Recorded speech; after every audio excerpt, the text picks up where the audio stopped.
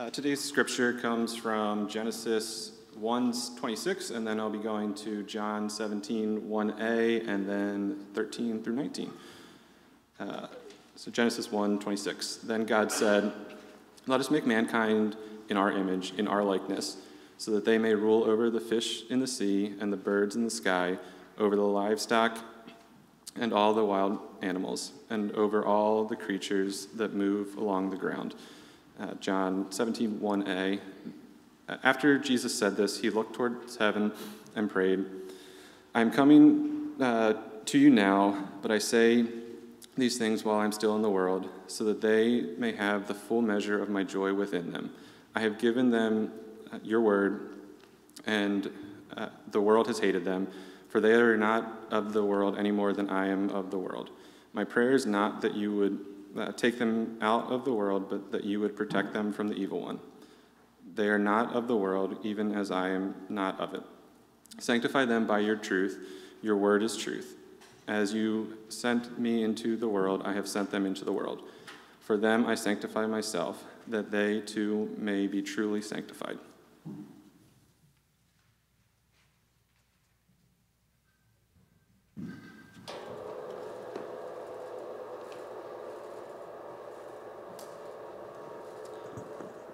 Pray. Father, we thank you and we praise you for your word. Your word is truth.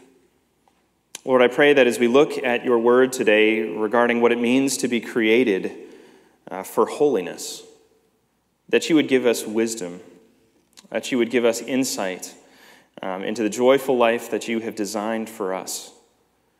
And Lord, that you would give us courage to embrace your word and live in light of its truth. I pray, Lord, that your gospel would be clear to your people despite my own inadequacies as the messenger, and that your people would be built up in every way into Christ, their Savior and Lord. In Jesus' name we pray. Amen.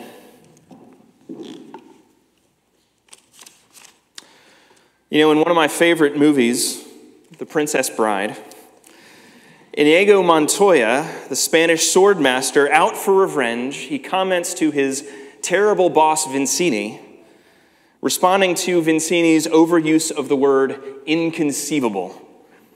I'm not going to speak it as Vizzini does.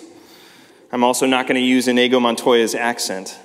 But what Inigo Montoya says to him after he says this word is, is he says, You keep using that word.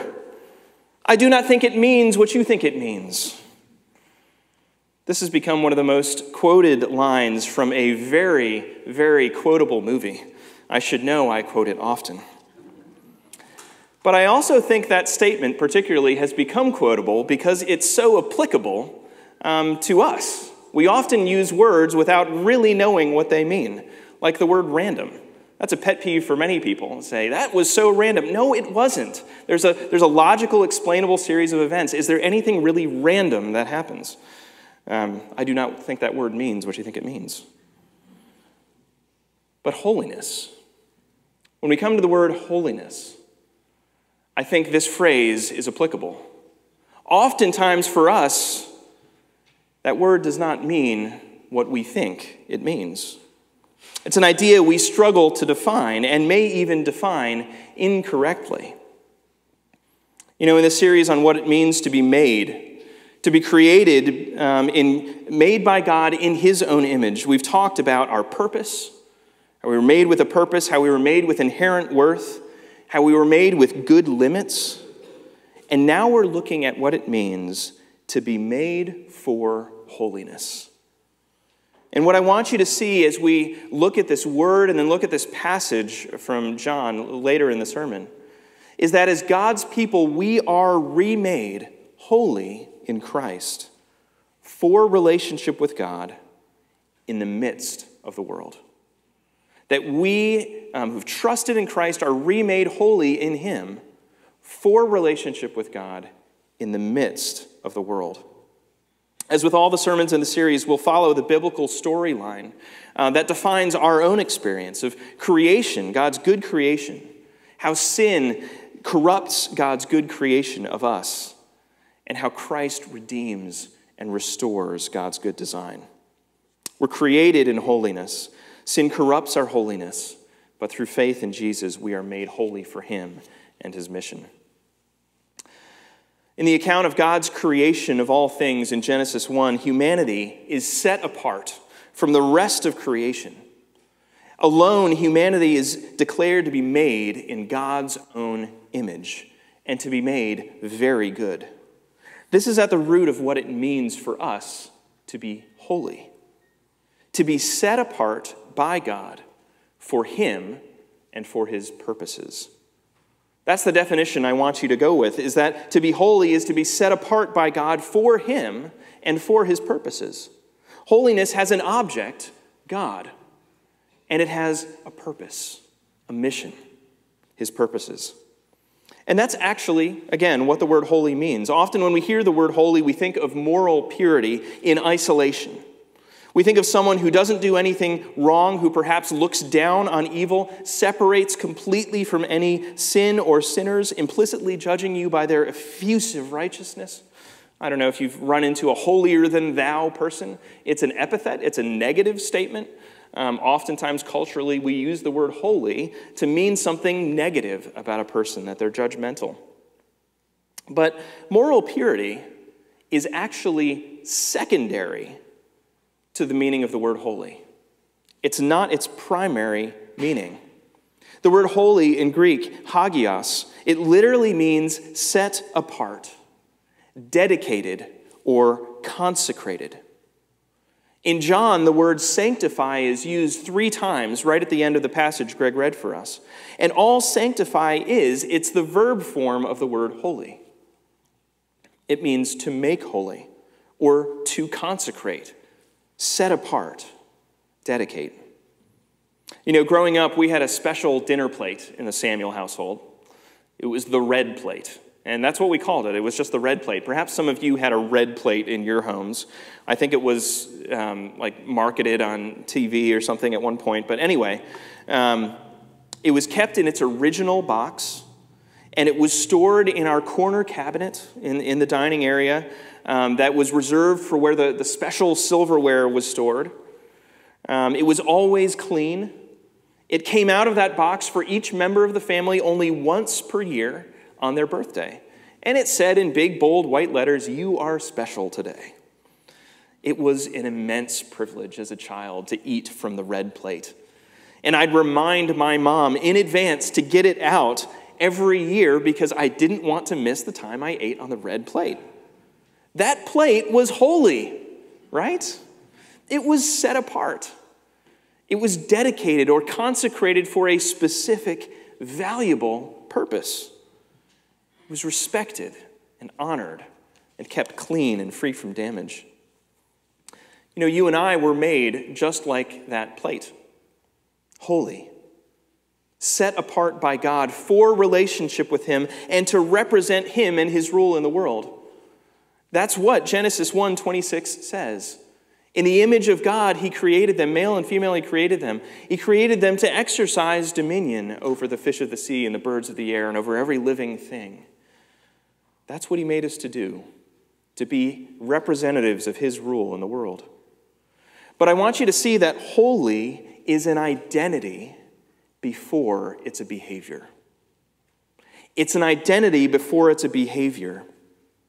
It's something which involves moral purity, but isn't actually that moral purity. If you need another reason to believe me that, the, um, that holiness is not defined by moral purity, look at the last verse of our passage from John. It says for them, uh, Jesus says, For them I sanctify myself can Jesus make himself more holy than he already is? Can he make himself more morally pure than he already is? No, he's perfect. What does he mean when he says, Sanctify myself? I set myself apart as a sacrifice for them. It's talking about his purpose, his mission. It's talking about what he was to do. He can't make himself more morally pure. You know, the Westminster Children's Catechism, there's a, there's a briefer version of our catechism that um, has been published to make it really easy for young kids to understand. Um, but it captures this created design well. It asks the question in what condition did God make Adam and Eve? The answer is He made them happy and He made them holy. Happy and holy. You know what's so interesting, though, is that we often in our culture see holiness as the opposite of happiness, don't we? We think the call to be holy is all about limits on my enjoyment. It's all about refraining from doing the things that the world finds fun. We think that pursuing holiness is the opposite of pursuing happiness, but that isn't the case at all when we understand holiness rightly. We were created to find our deepest satisfaction and happiness in living relationship with God, walking with Him in the garden as Adam and Eve did, and conformity to His design for our purpose. Holiness has an object, God, and a mission representing Him. Holiness and human flourishing are actually one and the same thing. Holiness is living consistently with our design. That's actually where moral purity comes in. The life God designed us for and set us apart for was morally excellent and pure because He is morally excellent and pure, and we were made in His image. The Westminster Confession of Faith calls this moral purity original righteousness that we were designed with, that we were designed without sin. We were designed to represent God in our righteousness, human moral excellence before sin entered the picture. But we need to see that people aren't holy because they were morally excellent. They were morally excellent because they were made holy because they were set apart by God for Himself. Holy is an identity before it is a behavior. What I want you to see is that if God designed us for holiness to be set apart for Him and His purpose in the world, it is absolutely crazy to think that true happiness and flourishing could be found in rejecting that good design. But you know, that's exactly what sin does. When you look at modern society and the world around us, to, be, um, to, to understand what it thinks it is to be holy, what it means to be set apart in the world, it's not about being set apart for God and His purposes, but being set apart for myself and my purposes. Authenticity is the holiness of today. Be true to yourself. You do you. That is the message, the creed that defines modern holiness. It is an intense individualism that denies our created design as being determinative for understanding our purpose and what leads to the flourishing life, the good life as God designed. Autonomy, self rule, each person sanctified to themselves. We see this all over the place. We see what this produces confusion about identity confusion about reality, choosing our own facts and reality. It results in chaos, conflicts, greed, and the sanctification of greed. For my desires are what are holy. And it results in antagonism in our relationship with God and fellow humans. As the rejection of God's design of us in holiness, sin produces conflict and chaos. It undermines our holiness by denying that we were set apart by God for Him, that we were made in His image to represent Him in the world. But the good news is that Jesus decided to intervene in our sin. He came to make us holy again. When Jesus died on the cross for our sins and rose for our life, he died and rose to make us holy, or through faith in him to be again set apart by God Everyone who trusts in him is made holy by being set apart for him. That's what this meal celebrates that we're going to celebrate later. When we take and eat of Christ's body and blood shed for us, the bread and the wine, which, or grape juice, which represent him to us, we are again recognizing that we have been set apart by his shed blood to live for him. You know, we, I, I love baptisms, and we baptize babies in this church. Um, and what baptism is, is it's a marking or a sealing, a setting apart of that child as God's possession. That they were made by God and that they are His through Christ. Now, we don't dedicate babies. The only example of dedicating babies is in Samuel. Uh, um, or it's, it's um, It's when uh, Samuel is left at the temple um, by Hannah, his mother. Um, love your kids, don't do that. Uh, we baptize your kids here. uh, we do not want you to leave your kids here permanently like Samuel was left. So, that joke must not have come across the first time. Thanks for the laugh. Makes me feel good. Um, but Jesus came to set us apart again. Turning to our passage in John 17, Jesus' high priestly prayer, we hear Jesus praying that God would sanctify his disciples, that he would set them apart for relationship with him and for his mission. And there are two elements in this passage to that sanctification, and I'm focusing on the last three verses here. The first is about moral purity or conduct. He uh, prays, Sanctify them by your truth. Your word is truth. In other words, set them apart by your word, by your commands, by your design for them. Let them represent you in righteousness. This is a prayer that God would conform us to his word, make us like Christ. This is about moral excellence and obedience to God's commands. It's a prayer that God would um, let us be his images in the world, representing his character and the way of true human flourishing by their love for him and their love for one another. For it is in these two commands that Jesus sums up all of the, the commands of Scripture. These commands, they aren't oppressive, they aren't limiting they're actually designed for our freedom and our joy. God is committed to this work, though, of making us more like Christ, of setting us apart by the truth and pattern of His Word. It's what Colossians 3 10 through 11 calls us to put off the old self with its evil practices, and put on the new self, which is being renewed in knowledge after the image of, his, uh, of its Creator. You see, there's, an, there's a sense in which we are sanctified. We are set apart if you've trusted in Christ. That is definitive, it is unchanging. Yet also, we are being sanctified. We are being renewed as we live out what it means to be set apart by God in holiness.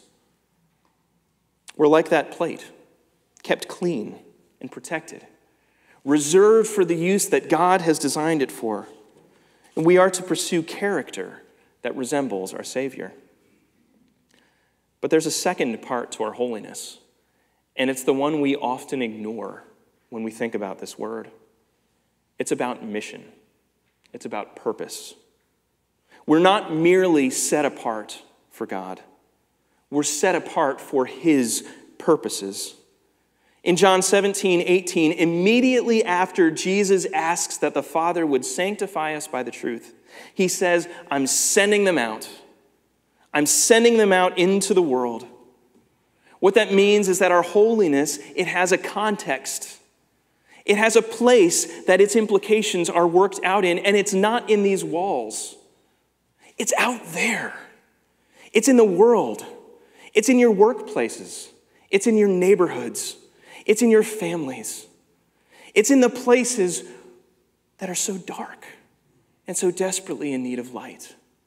Your holiness has a context and a mission, and it is to take you outside of these walls into your lives, that as you are going, you might be his images in the world. You know, throughout the millennia, Christian holiness has taken many forms. We can look at this and trace this throughout history. There are those who have thought the call to holiness um, was a call to domination. Some have sought, like Rome, by the use of military and political power to make the world holy through dominance and power. But if the Christianization of Rome teaches us anything, it's that Christian governments corrupt as quickly as non Christian ones. We can't make the world holy by force. There will be no truly lasting Christian nation until Jesus comes again. And it will cover the world. Others have resolved the contrast between being holy and being in, a, um, in an unholy world by retreating from it, by seeing our being set apart as a call to separate from a sinful world. You can think of monastic life, monasteries, and, and the hermit monk who, who's holed away in an abbey. Um, but you can think of it in more practical senses, in, in examples we see today. More practically, we can think of the Christian who sees the call to holiness as a command to separate utterly from sinners. When we as a church decide to embrace the holy huddle mentality, we huddle up here in our holiness, and then we go out scared into the world, and then we come back here into our holiness and we talk about the things of God, and then we go out and we just try to live quietly in the world. You know, Sara Groves long ago wrote a parody song about this idea that it's just really compelling. Um, it's called We're Taking Our Church to the Moon. it goes, We're taking our church to the moon. We're taking our church to the moon. There will be no people there to tell us we're odd or try to change our opinions of God. Just lots of rocks in this dusty sod. We're taking our church to the moon. It's the holy huddle mentality. But what did Jesus say?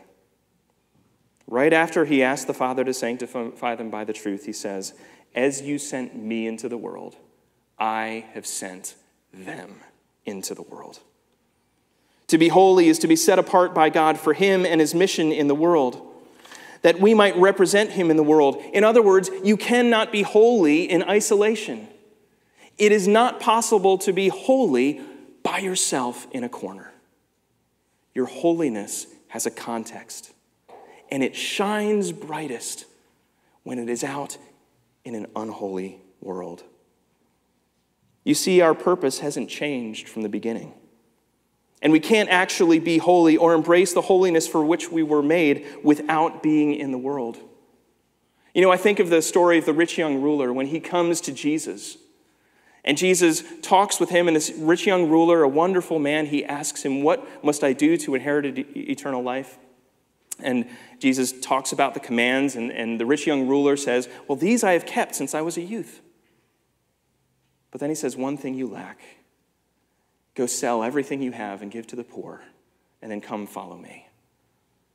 And what happened to the rich young ruler? He went away sad because he had many possessions.